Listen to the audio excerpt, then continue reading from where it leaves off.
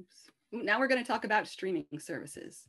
There are so many different kinds of streaming services. Even since the last time I did this presentation, uh, a few new really popular ones have come out. So we're going to talk a little bit about, about each one. There are many, many choices for streaming content, and it seems more and more are being added all the time. Think about what types of programming you and your household watch. Do you like a broad offering of many types of movies and TV shows? Or are you looking for something more specialized? The pricing of streaming services ranges from free, which are usually ad supported, meaning that you'll watch, there'll be commercials interspersed through the program, to 60 plus dollars a month for the ones that offer the option to view shows as they air.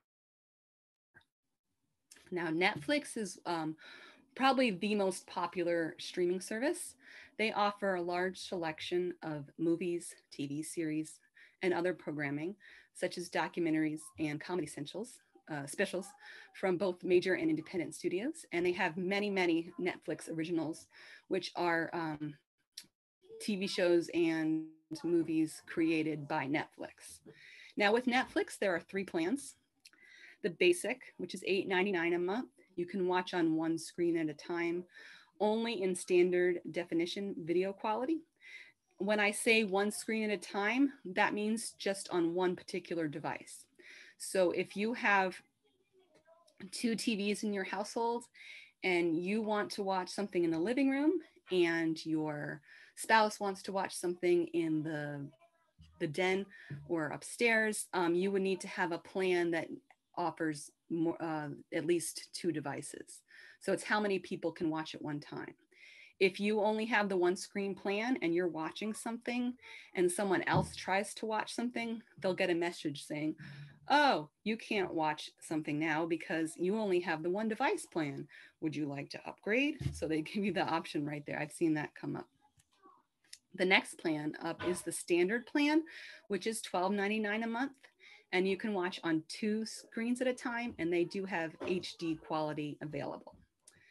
The highest plan is the premium, which is $15.99 a month and you can watch on four screens at a time and they do offer HD and Ultra HD quality if you're interested in video quality. Another very popular service is Hulu. They offer similarly uh, movies, TV, and other programming. Um, Hulu also has original shows now and, uh, and movies. A big difference from Netflix uh, that I really like is that Hulu has TV episodes available to watch the day after they air, as opposed to Netflix, which doesn't add new episodes of a currently airing TV series until after the season has aired. So, what that means is with their content, with Netflix content, they often do put a whole season up at once. But if it's a show that's currently on the air, like for instance, uh, Saturday Night Live, um, it's not going Hulu, you can watch Saturday Night Live on Sunday morning. And they have the, the shows as they air, like the next day. So if you wanted to watch, oh, um, American Idol, or, there's a lot of current shows on there, and you, you want to, you could just, it's not the basic plan. Um, you can watch it the, the very next day. Whereas with Netflix, you have to wait until the whole season is over and then it's whenever they decide to put it up there. So that if you're into watching a lot of things that are currently on broadcast TV, um, Hulu is a, a big plus over that. Uh, they have two plans, not including the live TV option, which we'll talk about um, in a little bit. The ad supported plan, which is $5.99 a month, with commercials shown before and during programming. And the no ad plan, which is $11.99 a month. Keep in mind that there is a very small list of shows that even with the no ad plan will show a commercial before the show. Currently, the only show on there is Grey's Anatomy, but that may change. Um, I've never seen an ad on Hulu. I have the no ad plan. And um, the most number of shows that I've seen that has a commercial uh, listed on their website. They, they listed it has been like three shows. So the majority of the shows you won't see any. If you have the no ad plan, you'll see you won't see any commercials. With both of these plans, uh, you have the option to add on premium channels such as HBO, Showtime, and more. Uh, it will be an additional fee each, each month. Each service has a different additional fee. And you can watch these channels and their programming through the Hulu app or on their respective apps. For example, if you order HBO through Hulu, you could watch it either through the Hulu app or on the HBO Max app. Um, if you did do that, it would you would just say log in with provider and you would log in with your Hulu name and password. With both plans, you will be able to watch on two devices at a time. Uh, another popular one is Prime Video. A lot of people have Amazon Prime for its shipping benefits. And if you have Amazon Prime, you already have access to Prime Video. And they offer movies, TV shows, and other programming. Same thing, they also have um, Amazon Originals. There's been um, the, the marvelous Miss Maisel uh, won some Emmy Awards, and they have also recently started offering live events. There's um, certain NFL games and sporting events are also available on Prime Video. If you're currently an Amazon Prime member, you already have access to Prime. The cost to become a Prime member is $119 a year or $12.99 a month. As with Hulu, you can add premium channels for an additional monthly fee.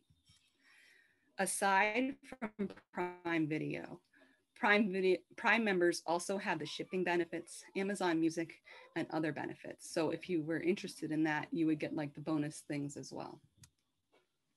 With Amazon, you can watch programming on three different devices at the same time. And they don't have tiers like um, Netflix or uh, Hulu, there's the different plans. And there are many, many, many other streaming options of, available as well. Um, Paramount Plus, brand new. Uh, they just came out within maybe the last month or two. They have movies and TV series from the Paramount catalog, which includes Star Trek and its many spin-offs. Also, um, there are sports, including NFL, soccer, and golf. Additionally, uh, news from CBS News, and that would be $5.99 a month. HBO Max, um, also brand new. Um, they used to have HBO, HBO Go, which has been replaced by HBO Max. They have current and past uh, HBO series and specials, as well as a rotating selection of movies that changes throughout the year. And this is a neat bonus. Uh, throughout 2021, HBO Max is premiering select new Warner Brothers movies at the same time as they premiere in theaters. Um, some examples of this, they had the new Wonder Woman movie. Uh, the same time it came out in theaters, it was on HBO Max, um, the Godzilla movie, and there's been a, the new Conjuring movie. Um, so that that's a really neat um, bonus for this year. And that is $14.99 a month. Showtime Anytime has current and past Showtime series and specials and movies that changes throughout the year. Um, they, when I say movies with both HBO and Showtime, they get movies from all different studios and things. So it's not just HBO movies and not just uh, Showtime movies, but you'll see um, different studios on there as well. Not just Warner Brothers. I think there's other studios as well. Um, Acorn and BritBox, uh, if you are into British and Canadian TV shows. Those uh, examples would be uh, Murdoch Mysteries, Doc Martin, uh, Doctor Who, Are You Being Served? Um, those are available on these services. Acorn is available for $4.99 a month and BritBox is available for $6.99 a month. Disney Plus, um, fairly new. It, it came out in 2019. They have uh, all all the Disney movies you could ever imagine and uh, Disney TV shows and they also have the whole Star Wars catalog, uh, many, many National Geographic documentaries, which is really fantastic. And they have some really nice National Geographic um, TV shows. Uh, there was an interesting one hosted by Jeff Goldblum on there. And there's also the whole Marvel catalog, which is many movies and TV shows. Um, the Mandalorian was a Star Wars original that was only on Disney Plus. There's WandaVision uh, was Marvel related, was only on Disney Plus. And the price for Disney Plus is uh, $6.99 a month or $69.99 a year. And um, there's also, you don't always have to pay, which is nice. Um, we're friends. There's a service called Pluto TV. And now this is a pretty amazing service. Um, it offers a very large number of channels. There's at least 300. Um, and it's ad supported. So you'll see commercials while you're watching. But they have two sections, a live section, a live TV section that has over 300 channels, and an on-demand section where you can watch movies and TV shows on demand. And these are actually shows that you've, it's sort of like watching regular TV. We're going to, I'm going to show you this during the Roku, but they have um, really neat channels. Like there's one that, that shows all cops, uh, the, the show cops. There's one that show all unsolved mysteries. Um, there's one that shows all classic game shows, British movies, um, one that shows all Jerry Springer. So it's it's uh, really neat, and they have a, it's made by Viacom, so like a lot of the MTV shows are on there too, and it's just a, a really neat um, free thing if you don't mind watching some commercials. Uh, if you're a resident of East Greenbush, Schodack, or Castleton, we have a really great service called Hoopla, which you can access for free. There's an app for that on um, Roku and other smart devices. And they have a great selection of movies, TV shows, and documentaries. And with Hoopla, you just, um, the first time you use it, you create an account on either your computer or your phone, and then you log in on your TV, and then you get um, a certain number of borrows every month. Uh, Carrie, do you know what, the, I believe it's five or seven. It is you five, can rent last time month. I checked. Five. Okay, you can you can rent five per month, so it keeps track of. of and when I say rent, it's not really you're not paying anything; it's free. Um, so you can you can get five of them a month, uh, either TV shows or movies on there or documentaries. And if you own a Roku, there's a free app that comes with the Roku called the Roku Channel, and this has a changing selection of movies and TV shows. And there's no monthly charge to access the Roku channel. It's just there. There there are commercials though with um, some of the things that you watch on the Roku channel. And we also are going to talk about live streaming services. Now, watching TV live as it happens uh, through a streaming service is called over the top television or OTT. As with other streaming services, the live streaming services are available through apps and usually for a monthly fee with live streaming, you can watch shows live as they air or later on demand.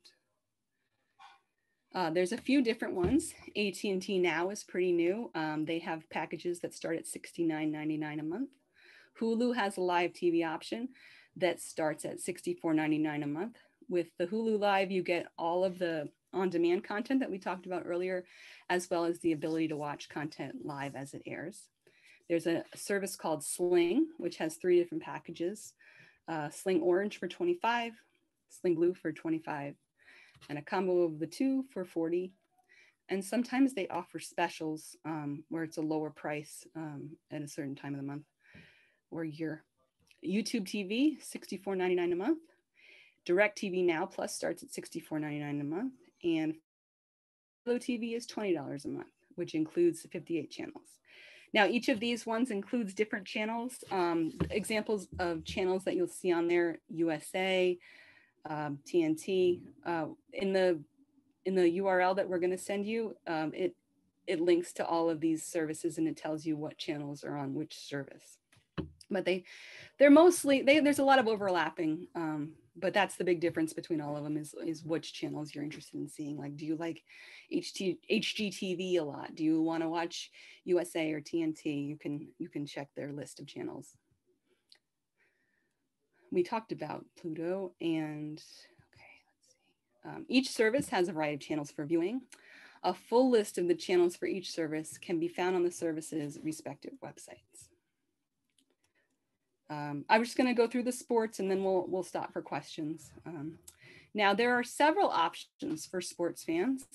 Uh, the most cost effective option is to use an antenna to watch local sports games as they air on the major networks.